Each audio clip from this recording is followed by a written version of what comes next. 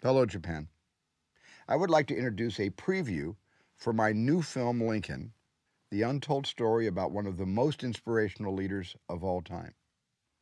The themes in the film are as relevant today as they have ever been for countries all around the world, including, I hope, Japan.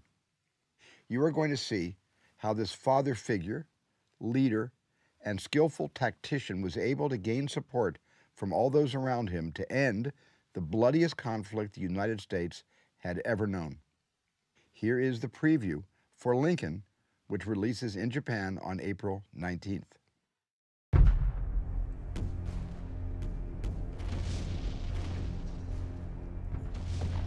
A bombardment from the largest fleet the Navy has ever assembled. この春あなたは出会う A hundred shells a minute till they surrender. Dear God. 混迷する時代 夢に向かって進む本当のリーダー Abraham Lincoln has asked us to work with him to accomplish the death of slavery. Congress must never declare equal those whom God created unequal. Abolishing slavery settles the fate for the millions now in bondage, and unborn millions to come. It's either the amendment or this Confederate peace. You cannot have both. 彼が求めたのは 真の自由 Even if every Republican votes yes, we'd still be 20 votes short. Only 20? A fight like this is to the death. We are guaranteed to lose the whole thing. Slavery, sir, it's done. 悲惨な戦いの中で Think of all the boys who'll die if you don't make peace. The war will take our son. How will I ever forgive you?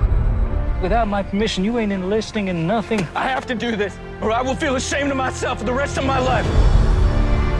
I can't end this war until we cure ourselves of slavery. This amendment is that cure. We need two yes. Get the hell out of here and get him. But how? I am the President of the United States, clothed in immense power.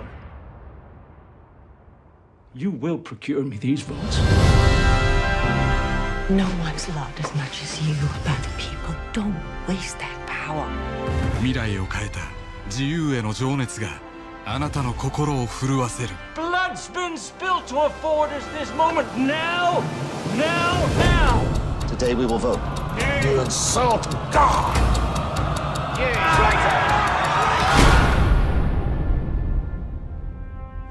Shall we stop this bleeding?